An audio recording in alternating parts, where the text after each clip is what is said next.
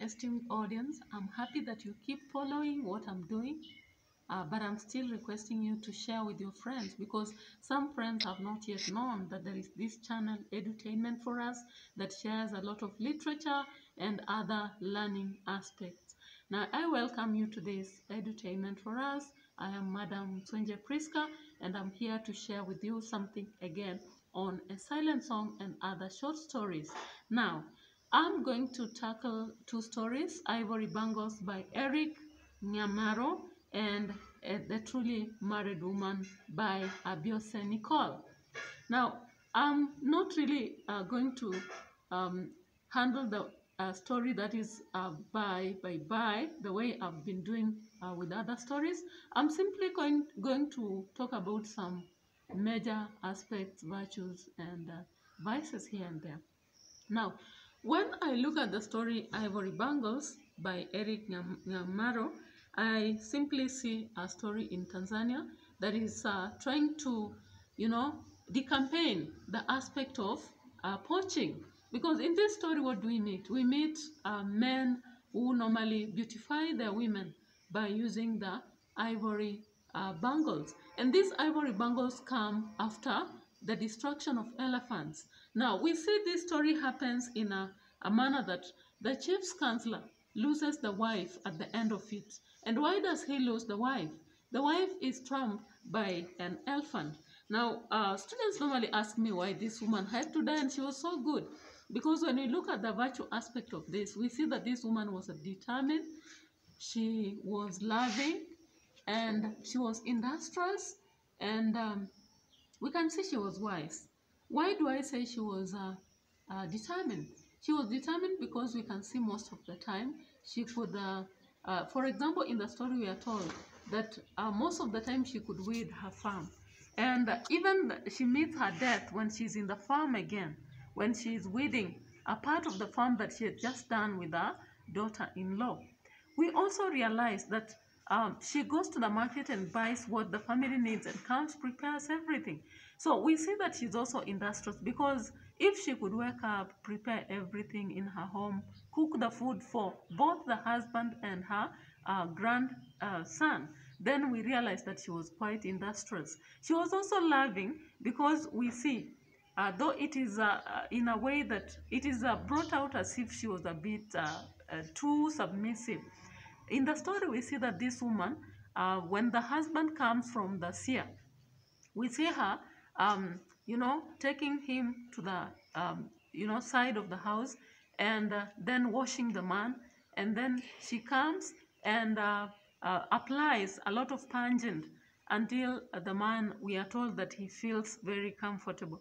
If I look at the text a bit, on arriving at home, his wife unstraps his sandals, bathes him, and rubs him with sharp smelling unguent that serves him uh, uh, you know, makes him uh, so happy. Now, when we look at that, uh, we see submissiveness, but at some point we see an aspect of love. Now, we also see that once the husband has been washed and uh, has been rubbed with the sharp smelling unguent, she also prepares food. Yeah, she prepares mashed green bananas, meat, vegetables, herbs, and roasted sweet potatoes for the husband. So we see uh, that aspect of love because it's not easy, you know. We can't lie. These days we might not find these privileges um, out there. Watch out. Now we also see that they are aged. Him and the chief's counselor are aged, but we understand that when the husband comes from the seer, he has a point. He wants to share something, but the wife keeps telling him, "Wait, eat first." And later in the evening, that is when they are sharing information. We also see um, love from the uh, part of the husband because there is a, a point when he had just married and the chief was advising him, telling him to marry another wife because one, one uh, stone is not enough. And the chief said no. Um, he used a, a given um, riddle. Let me just check in the text and uh, share out uh, this riddle. Uh, this riddle was uh, uh, the woman wanted to fetch water. The woman had one water pot. The woman arrived at the water point. The woman found another water pot. That is page 23. So the author is trying, uh, the, the, the author tries to show how wise this man is because he uses a riddle to challenge the chief that you may bring another wife, but what comes in the home is only destruction. Yeah. So we see a lot of love as a virtue in this story. And even the way this man handles the aspect when he goes to the seer and the seer tells him he has to beat the wife. He comes and shares it with the with the wife, which cannot happen. In the normal situation, it does not happen. He is also very concerned about this uh, wife, and he's also thinking about it a lot, which means he loves the wife regardless of this old age. Even the wife in this story wonders why the son, unlike the father, keeps beating the wife. So that is the aspect of virtue I'm talking about, the aspect of determination, uh, love, and uh, industrials, and wisdom. We see those all those in this story. Now, what about the the vices? In this story, we have vices that we learn. Uh, and maybe before I go to the vices, do we have the rewards for this? It is something you should think about because when they set questions from such a story, they would set on maybe um, decisions and how they affect the um, that is the the or the the, the, the, the given characters or maybe the choices they make and how they affect. Do you think she made a wrong choice somewhere? That is what we should be digging for. And maybe I'll be sharing that in the vices. Now, when you look at the vices, I told you about poaching. Poaching is not a very good aspect in the society. Now, the elephants become enemies of human uh, because they always lose tasks to, um, to make bangles for the women. Now, you see that when the chief's wife uh, gave birth to the son, uh, the first gift received, she received from the husband was the bangles that beautified her. Uh, in the story, there's a part where we are given information about her moving around with the bangles. I can't quite find it immediately, but if you read this story, you realize that there is something about uh, the bangles that the chief gave the woman, and every time she moved around, it showed the curves on her, and uh, yeah, they made her look quite uh, beautiful. So at some point, it is my own opinion though. I feel that the author wanted to show us that she would die still under the wrath of the elephant. And that is why she's trampled when she goes to the farm and she's digging and the elephant comes and tramples her. Stop a bit. Okay, yeah. So we see that aspect that uh, killing of animals is not a very good aspect. We also realized uh, something about wife beating in this story.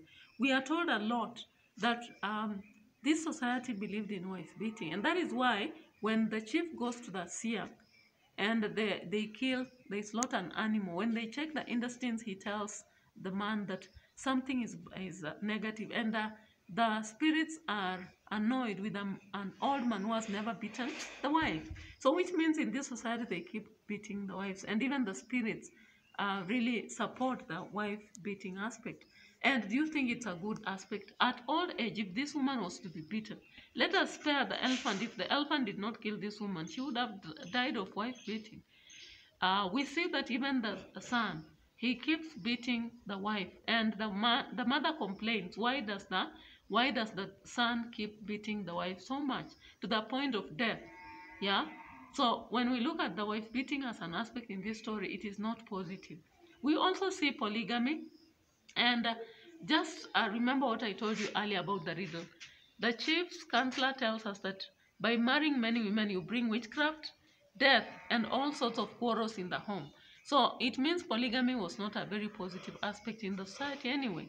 Then, uh, when we look at uh, polygamy again, uh, if it were to be there, do you think that the love we see from this old woman and the husband would exist? Possibly, I don't think so. Then, uh, there is this aspect of uh, believing in uh, seers and, you know, that old aspect, that old culture. This was one of the outdated cultures that I think was wrong in this society. It kind of diverted the attention of love from these two people and it made them now begin focusing on how they'll survive, what to do. You can see the wife even tries to see whether she will cheat and run to the brother's place and say that she has been beaten and then a conflict to be solved and all that. So it diverts their attention. Even the chief is not at peace at all He's restless the whole night. He can't, uh, you know, settle and all that. Now, we can't really say that she died just because the seer had foretold. That one will be like supporting the vices in the society that wife beating should be. I believe whatever happened is procrastination. You know, once they realized that the seer had done this, and then the woman says that this man had been jealous because uh, he, you know, he promised this woman that by not marrying him, then she would later on have to be cast. So we would blame the seer and not this woman. But we would blame her for, uh, you know, uh, delaying. Like she takes a lot of time. She had made a decision that she would go to the brother and see things settle. But then she went uh, and uh, kept procrastinating. And uh, at the end of the day, we also blame her because she goes to the field to plow when she, everyone, the scout has been, have been announcing while she was coming from the market, they said nobody should walk because the elephants are around. So we will blame her for that uh, sort of foolishness and not that she never allowed beating because I can't I can't totally think that the author was supporting wife beating. That is the story, um, Ivory Bangles. Now, I'm going to move on to uh, the next story. As I told you, I was going also to talk about the truly married woman. This is a story that I see a lot of vices than virtues. What are the vices that I see in a truly married woman by uh, uh, the, the, uh, by Abioseh? Now I see uh, a sort of deception. You know, like when people want to get things, they would deceive in any way possible. Now we see deception happening for Ajay and and Ayo.